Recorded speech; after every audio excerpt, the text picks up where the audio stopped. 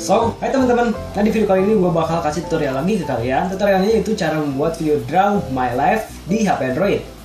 Nah untuk membuat video Draw My Life di HP Android ini cukup sederhana. Kita hanya memerlukan dua aplikasi doang, yaitu yaitu aplikasinya yang pertama Video Scribe. Kalian bisa download di Google. Dan jika kalian coba download di Play Store, mungkin itu tidak ada ya, karena itu hanya ada di Google. Oke, dan aplikasi yang keduanya yaitu adalah aplikasi KineMaster. Dari sini KineMaster berfungsi untuk mengedit video yang sudah tadi Anda buat di video script. Jadi kita di KineMaster akan mengisi VO dan juga musik, dubbing, dan sebagainya. Nah sebelum lanjut ke videonya, kalian klik dulu tombol subscribe untuk support channel ini. Oke kalau begitu, selamat menonton!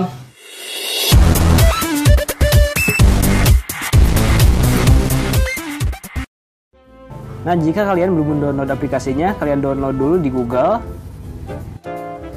Kita cari di sini ketik video scribe Oke, langsung kita cari. Nah, dan inilah video script. Lalu kita geser ke bawah dan kita download dulu ya terlebih dahulu. Kita download. Nah, kalian download saja video scribe-nya. Lalu kalau sudah terdownload, kalian masuk ke video scribe-nya. Tunggu proses ini selesai. Lalu di sini kalian pilih karakter animasi sesuai dengan karakter yang kalian butuhkan atau karakter yang kalian suka. Dan di sini saya akan mencontohkannya satu, saya akan mengklik ini. Lalu gua akan memilih yang logo YouTube ini. Pokoknya di sini kalian bisa memilih karakter sesuai dengan yang kalian suka dan itu bebas ya. Tergantung keperluan kalian dan yang kalian suka. Lakukan berulang-ulang. Di sini ada sekitar 4 kalau nggak salah ya. Jadi kalian bisa memilih sekitar 4 sampai 5 karakter. Nah, lalu jika kalian sudah, kalian klik saja tanda checklist yang ada di pojok kanan atas dan otomatis gambar yang tadi kalian pilih itu akan menjadi seperti ini. Nah, dan kalian lakukan saja secara berulang-ulang sesuai dengan kebutuhan kalian, baik itu dari segi karakter ataupun yang lainnya.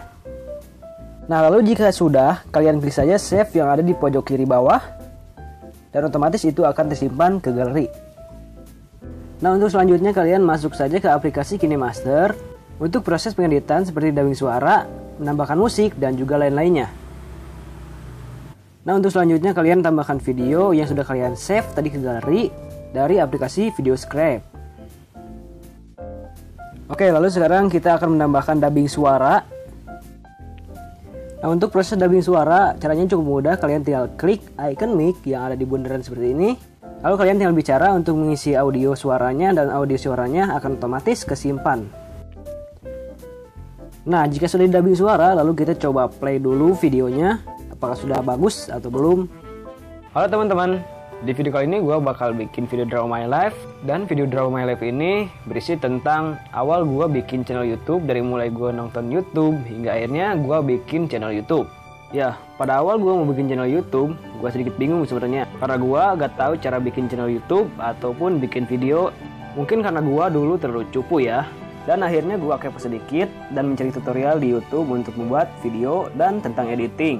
Tapi sejak itu gue menjadi galau sekali karena hubungan gue harus berakhir sama pacar gue. Ya sebenarnya itu juga salah gue sendiri sih. Bagian siapa juga sih yang nyuruh pacaran? Nah mungkin cukup sekian ya videonya. Dan menurut gue mah kagak keren-keren amat, kagak jelek-jelek amat, jadi standar lah.